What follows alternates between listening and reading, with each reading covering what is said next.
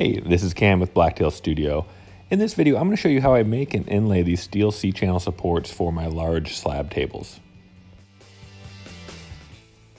I first learned about these supports from Canadian Woodworks, this really cool company up in eastern Canada, and they make their own. Uh, they also sell them too, and these are kind of a pain to make. So if you decide you don't want to make them, uh, they were cool enough to offer a discount to anybody who wants to use this code and buy them directly through them.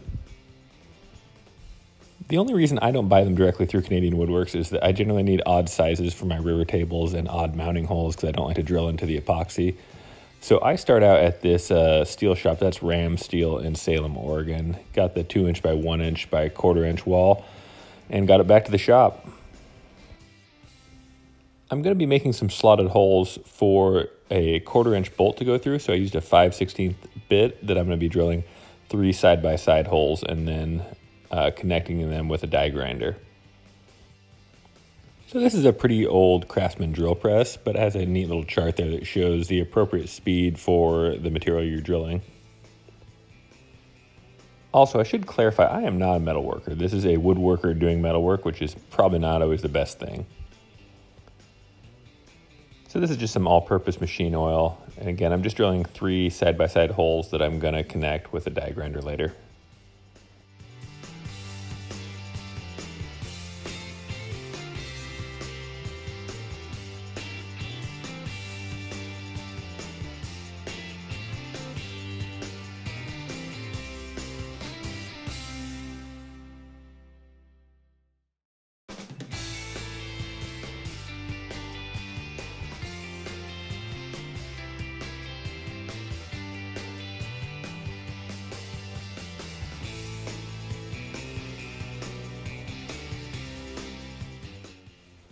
So I have really, really nice woodworking tools, but I have really pretty modest metalworking tools. So just want to show that it doesn't take a super expensive tools to do this project. These are some little carbide die grinder bits I got off of Amazon. I got like five for 20 bucks or something. Uh, they're not the best, but they work pretty well for this.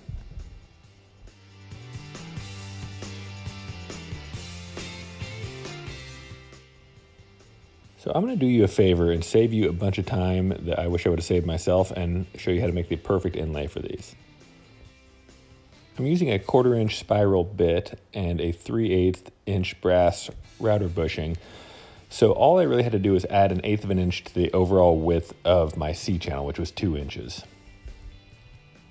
Sounds kind of complicated, but all I did was add an eighth of an inch.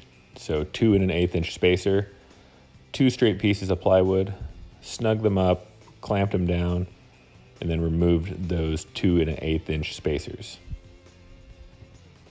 You may be wondering why I didn't just use the Festool track to make some straight lines and drop these in. And I tried that before, and it's actually a lot harder than it works. If you used a bigger router bit, you could do it, but then you have a bunch of wiggle room in your table, and I wanted these to really be pretty snug in there. You don't have to inlay these completely flush, but I decided I wanted to. And so to do that, I just routed out the thickness of that top plate. Just make sure those strips you routed are deep enough for the entire C-channel to fit into. And you may be wondering why I didn't do a better job measuring, and this was actually intentional. You want room for the wood slab to expand and contract, and you don't want it to bind on that steel.